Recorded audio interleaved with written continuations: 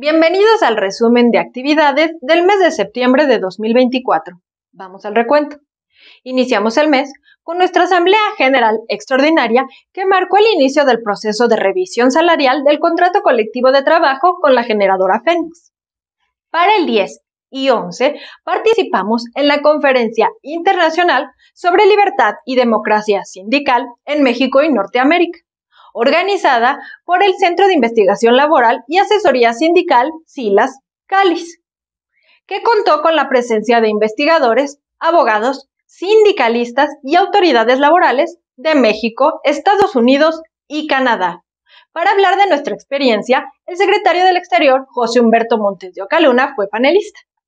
El jueves 12, por la mañana, nuestra comisión negociadora, encabezada por nuestro secretario general Martín Esparza Flores, sostuvo una importante reunión en la Secretaría de Gobernación. Ahí se consensuó una propuesta de trabajo para presentar al equipo de transición de la doctora Claudia Sheinbaum Pardo. Ese mismo día, por la tarde, tuvo lugar nuestra Asamblea Legislativa de Pactos. Ahí, nuestro Comité Central explicó la importancia de suscribir un pacto con la Confederación de Jubilados, Pensionados y Adultos Mayores, en la búsqueda del respeto irrestricto de los derechos adquiridos por los jubilados y pensionados de nuestro país. La Asamblea discutió y aprobó este importante pacto. El domingo 15 de septiembre, nuestro compañero Miguel Márquez Ríos tomó protesta como diputado local en el estado de Puebla. A este acto solemne lo acompañó nuestro secretario general Martín Esparza y miembros del Comité Central y las comisiones autónomas. Enhorabuena, felicidades.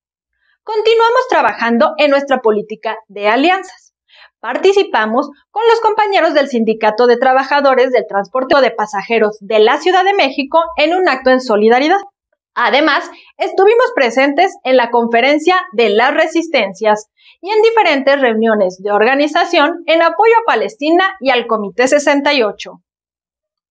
Nuestra cooperativa LF del Centro concluyó un importante ciclo de talleres impartidos por la UAM Iztapalapa y la UNAM sobre economía social, solidaria y cooperativismo, por lo que se realizó la entrega de certificados. Para el 25 en el Auditorio Ernesto Velasco se realizó la presentación del libro La pintura en la pared, una ventana a las escuelas normales y a los normalistas rurales de Luis Hernández Navarro. Con esto comenzaron los actos conmemorativos a 15 años de resistencia. Porque vivos se los llevaron, vivos los queremos. El jueves 26, a 10 años de la desaparición forzada de los 43 normalistas de la normal rural Isidro Burgos de Ayotzinapa, participamos en la marcha junto a los padres y madres de los normalistas que acompañados de organizaciones sociales, sindicatos y estudiantes siguen exigiendo verdad y justicia para sus hijos. Seguimos caminando de la mano sin olvidar que Ayotzinapa es un crimen de Estado. Llegamos al 27 de septiembre y en el marco del 64 aniversario de la nacionalización de la industria eléctrica, realizamos un conversatorio de reflexión en el auditorio Ernesto Velasco.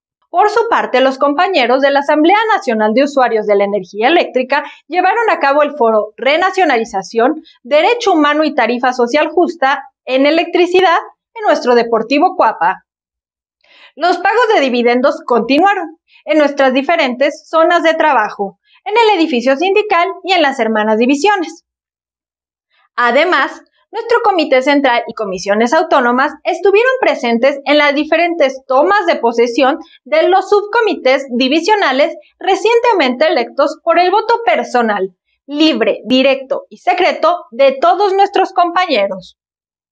Concluimos el mes participando en el mitin Pañuelazo por el derecho de las mujeres a decidir, por un aborto legal, seguro y gratuito en todo México conmemorando los tres años de resistencia de la glorieta de las mujeres que luchan por un México libre de toda violencia machista.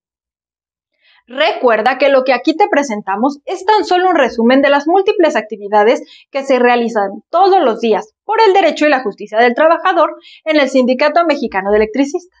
Mantente pendiente de nuestro plan de acción en nuestras diferentes redes sociales y sitio web y participa a 15 años de resistencia. Yo soy Gabriela Barragán y a nombre del equipo de Radio SME te agradezco el habernos acompañado y te espero el mes que viene en el resumen de actividades. Muchas gracias.